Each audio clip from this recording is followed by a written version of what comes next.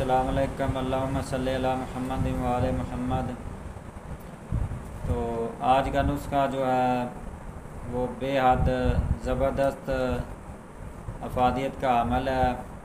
जिन औरतों को हमल नहीं ठहरता। बेहद मुकवी नुस्खा। जो बार बार हॉस्पिटलों के चक्कर लगा चुके हैं और वो कहते हैं कि आपको कोई मसला नहीं है, सारे टेस्ट क्लियर आते हैं। लेकिन इसके बावजूद भी अमल नहीं ठहरता। तो इसके लिए नुस्खा नोट फरमा लें। मुरमक की एक तोला नशादत डंडा। नशादत ठीकरी नहीं लेनी नशादत डंडा लेना है। एक तोला, तुखम शोलंगी एक तोला। बरादा दंदान फील बरादा दंदान फील ये आपने खालिस दंदान ले के अपने हाथों से बरादा तैयार करना है ये जो बाज़ार में मिलता है वो नहीं इस्तेमाल करना तो काली मिर्च और तुखम दतूरा और कुश्ता फलाद और कुश्ता फलाद हमदर्द कंपनी का और नाग केसर ये सब चीज़ें बराबर वज़न लेके चाहे तो आप इसके साथ शहद मिक्स करके गोलियाँ बना लें, चाहे तो 500 सौ के कैप्सूल इस्तेमाल करें। ये औरत को अगर रैम की सूजन हवा की वजह से अमल नहीं हो रहा तो इसको भी ख़त्म कर देता है। जब डेट ख़त्म हो जाए हैज़ ख़त्म हो जाए तो इसके बाद सात दिन तक इस्तेमाल करवाना है। सुबह शाम खाने के एक घंटा बाद उबले हुए दूध के साथ।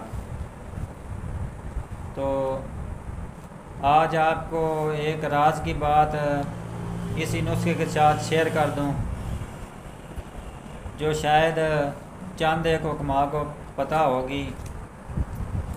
जब डेट ख़त्म हो जाए तो इसके सात से आठ दिन बाद। अगर करेक्ट समझें तो जब डेट ख़त्म हो जाए, मकसद अगर आज औरत ने सर धोया है तो इसके चौदहवें दिन, आज से चौदहवें दिन। बैज़ादानी से बैज़े रहम में आते हैं। उसकी अलामत यह है कि उस दिन औरत का जिसम ऐसे होगा जैसे बुखार हो चुका है। जिसम त्रोटक थकावट वाला हो जाएगा। ठीक है, बुखार वाली कैफियत सर में दर्द हल्का हल्का भारीपन ये अगर कोई मेरा भाई इसको नोट करके उस दिन हम बिस्तरी करेगा तो सौ फ़ीसद अल्लाह के हुक्म से अमल ठहर जाएगा। तो बहरहाल, डेट ख़त्म होने के सात दिन बाद, अगले जो सात दिन होते हैं, डेट ख़त्म होने के बाद, सात दिन बाद, अगले जो सात दिन होते हैं, उन सात दिनों में जो है, हम बिस्तरी करनी चाहिए तो कभी उम्मीद है कि अल्लाह के हुक्म से औलाद नरीना पैदा होगी और अमल जल्दी करार पाएगा।